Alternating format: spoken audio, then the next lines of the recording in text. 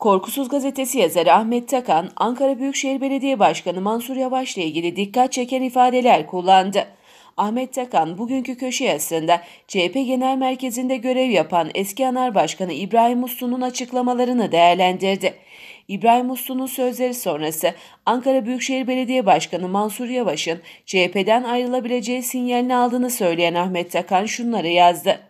Uslu seçmenin değişen eğilimlerini analiz ederken CHP'nin sağcılaşmaması gerektiğini söylemiş. Ankara Büyükşehir Belediye Başkanı Mansur Yavaş'a da çok yakın durduğunu bildiğimden kafamdan acaba Uslu Yavaş'ın yavaş yavaş CHP'den kopacağı sinyalini mi veriyor diye dehşet soruları geçti.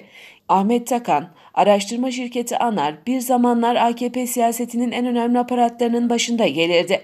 Bu şirket sadece yaptığı araştırmalarla değil, akıl hocalığıyla da AKP siyaseti üzerinde etkin bir rol oynardı. Dün haber sitesi Gerçek Gündem'deki eski ANAR Başkanı İbrahim Uslu'nun bazı değerlendirmelerine göz attım. Bir zamanların has AKP'lisi İbrahim Uslu şimdilerde kendi deyimiyle CHP Genel Merkezi'nde profesyonel danışmanlık hizmeti veriyor. Uslu seçmenin değişen eğilimlerini analiz ederken CHP'nin sağcılaşmaması gerektiğini söylemiş.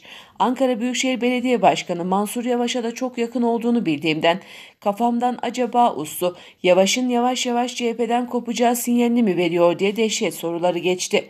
Bana sanki İbrahim Uslu CHP'deki 10 Aralık hareketinin sözcülüğüne soyunmuş gibi geldi. Buradan İbrahim Uslu'ya sorular yöneltmek isterim.